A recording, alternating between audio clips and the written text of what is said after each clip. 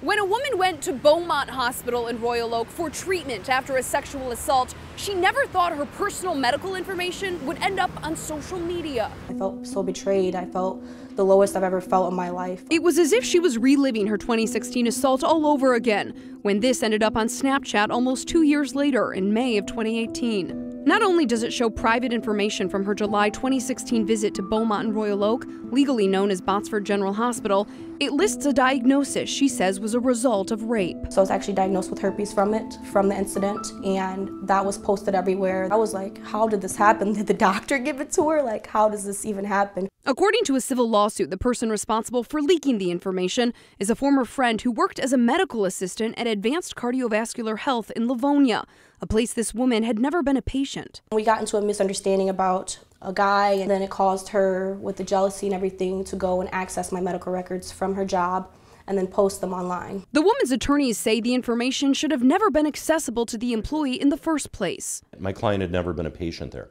My client had never uh, scheduled an appointment with this facility. The lawsuit claims the employee accessed the records through Botsford's online medical record system while working at Advanced Cardiovascular, which is affiliated with Botsford. It's like the security guard being asleep in the records room. There is something inherently wrong when somebody who has not even treated at that facility is able to go into their medical record system, access highly sensitive medical records, and post them all over the internet without any accountability. When the victim reached out to Beaumont Health's trust line about the information leak, she received this letter. It confirms her records were accessed in March and April of 2018 and contained information from her 2016 visit, as well as some lab results. The letter goes on to say that the employee responsible, quote, no longer has access to the Beaumont Health medical record and has been terminated from employment from Beaumont Health. Once we started asking questions, the hospital told us the defendant was never a Beaumont employee,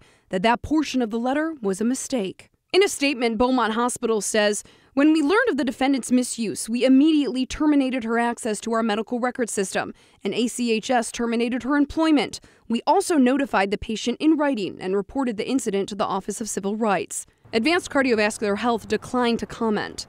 Attorney Ralph Laus specializes in HIPAA, designed to protect patient privacy.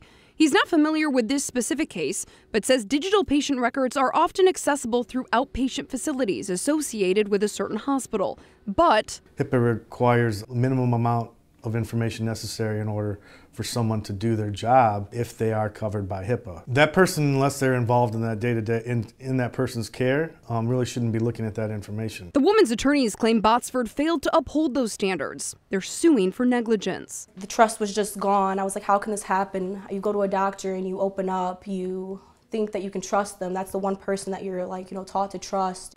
Attorneys for the plaintiff want a jury trial on this. They're also seeking compensation on her behalf. They're next in court in mid December. In Royal Oak, Jenn Schanz, 7 Action News.